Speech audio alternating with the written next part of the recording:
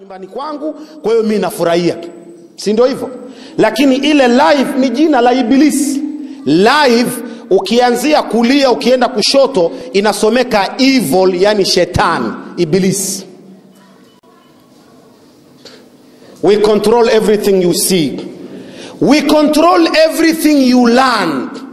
Masomo yote yale mnasoma huko shuleni ya Kifaransa, ya Kiingereza, wao ndio wanaopanga, na ndio maana kwenye hiyo mpango ya masomo wameweka tayari masomo yao ya ili mkiyasoma mupate kumsahau Mwenyezi Mungu. Masomo hayo kwa Kiingereza yanaitwa evolution theory. Evolution theory inasomesha nini?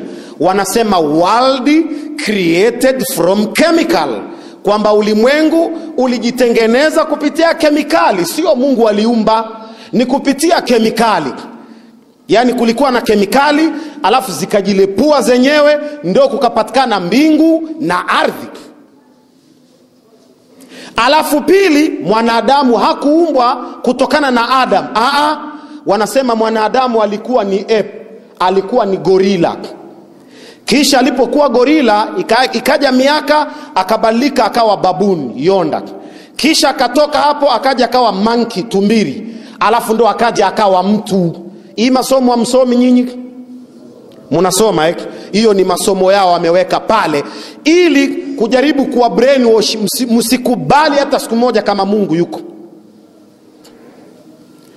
Tusiendelee zaidi, maana ni mengi sana.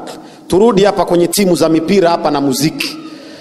Mi leo naongea kidogo tu, kwa sababu nataka nirudi kwa mtandao. Niko na mada mpya ambayo nataka kuitoa hapa Burundi, na, na nahitaji nitakimbia niangalie Burundi yote, Bujumbura.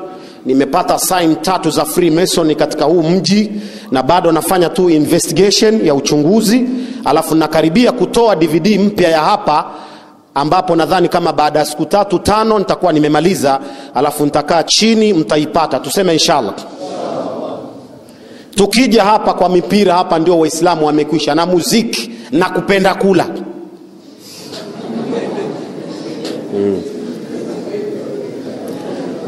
Mziki, mpira na kupenda kula, hivi vitu vitatu hivi tumekwisha. Kama kuna mahali ibilisi amekamata watu ni kwenye mpira na kwenye muziki. Hapa huu jamaa ameshamaliza kazi. Nani hapa hamjui mwanamuziki?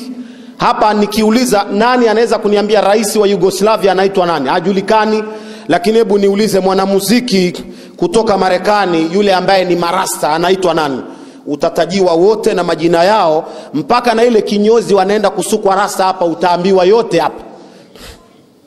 Ama niulize mtume alikuwa na maswahaba wangapi? Itakuwa ngumu, lakini niulize Manchester na maplaya wangapi, uone cha mtema kuni utatajiwa wote na majina yao, anayewapigia pasi, kinyozi wanaokwenda kunyolea, na mwaka ujao nani atanunuliwa na nani hanunuliwi.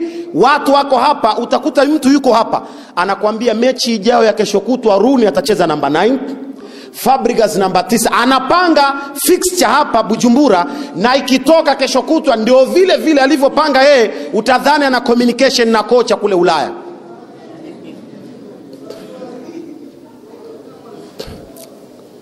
Waislamu ndugu zanguni, tujue kwamba Ibilisi mahali ilipofika ni pabaya mno. So ndio maana nimejisacrifice kwa sababu yenu, nafanya kazi ya hatari kwa sababu yenu, kwa sababu ya Allah na kwa sababu yenu. Hii kuzungumza wanaoabudu shetani, usifikiri ni kazi ndogo. Nani ambaye anataka kufa kesho kutwa hapo? Kila mtu hapa anataka aishi muda mrefu, ale mona bana, pige ubwabwa kabisa kabisa, hana wasiwasi. Lakini kufa, hakuna mtu anayetaka kufa hapo. Ndugu zanguni, tuache ushabiki wa mipira na tuache muziki, tuseme inshallah.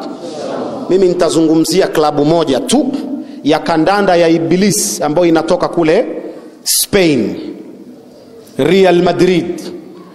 Usivae hata siku moja t-shirt ya Real Madrid, tuseme inshallah.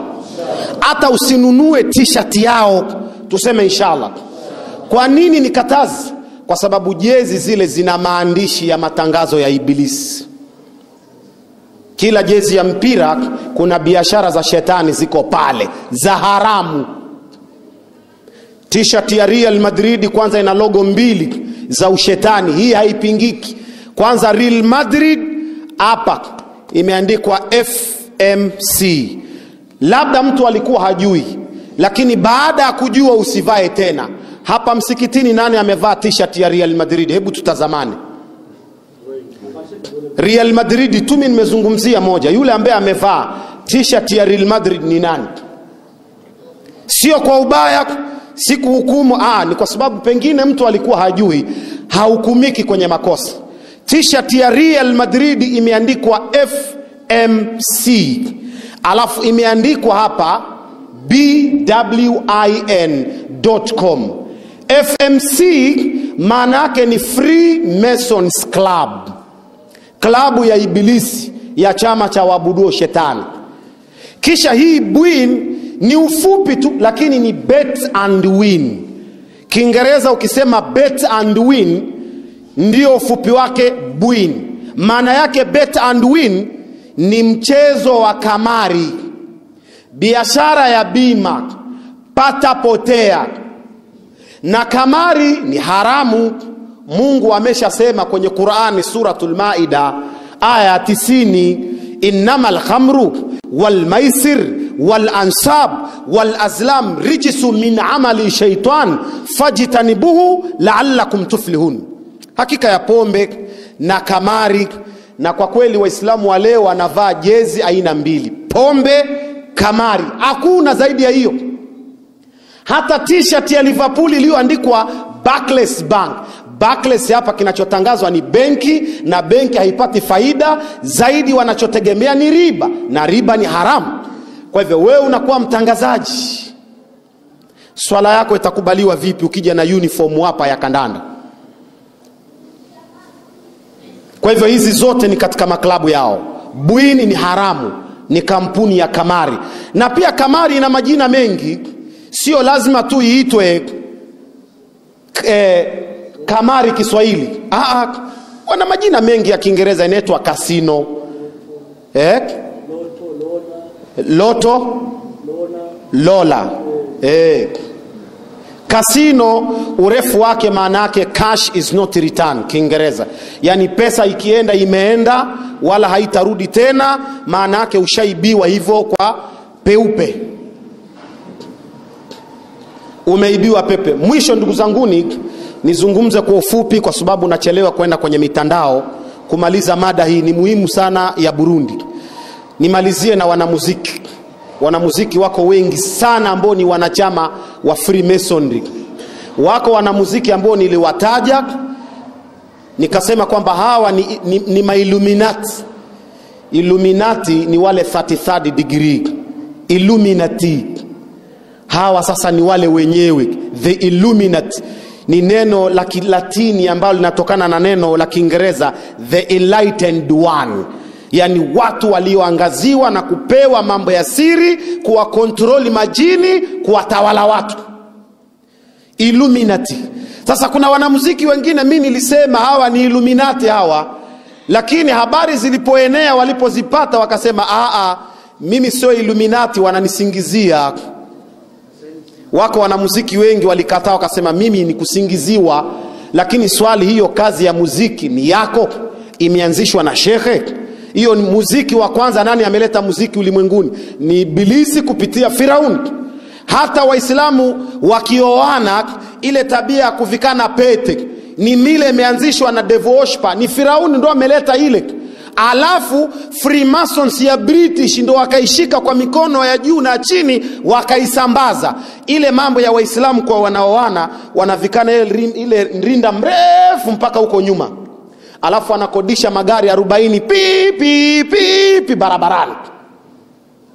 Freemason from british